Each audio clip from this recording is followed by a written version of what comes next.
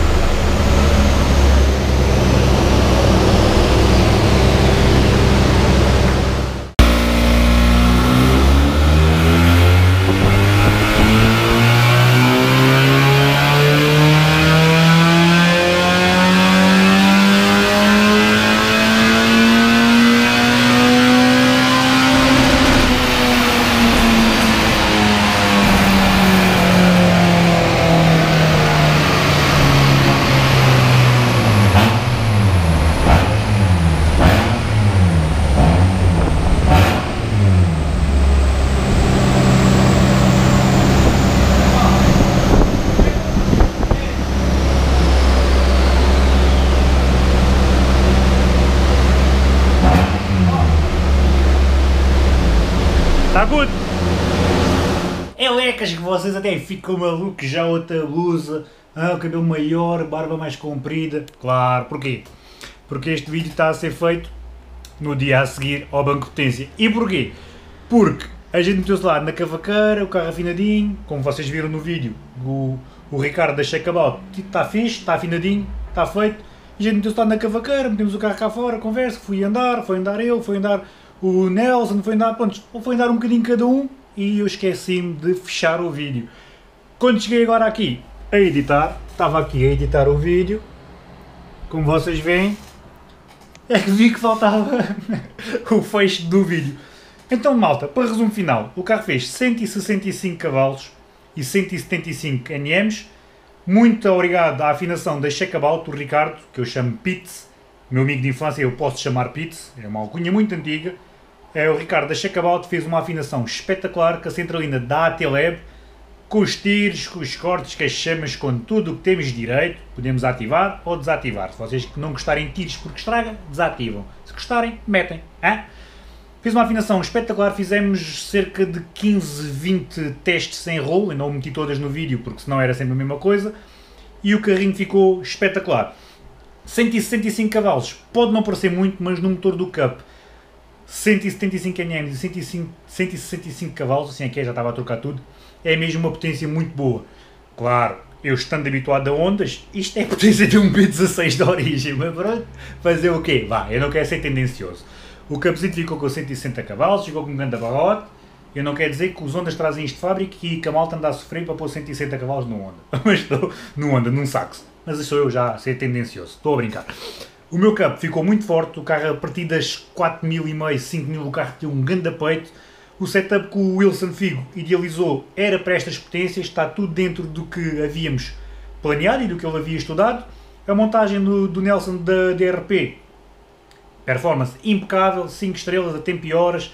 A caixinha que o Gonçalo fez uma reparação com peças usadas e tal, não arranhou uma única mudança, pelo menos nos aquecimentos que a gente lhe deu ali depois da afinação, não arranhou uma única mudança. Vamos ver amanhã no autódromo. Isto porquê? Porque contem eu afinei, hoje estou a fazer este vídeo, amanhã é que vou para o autódromo.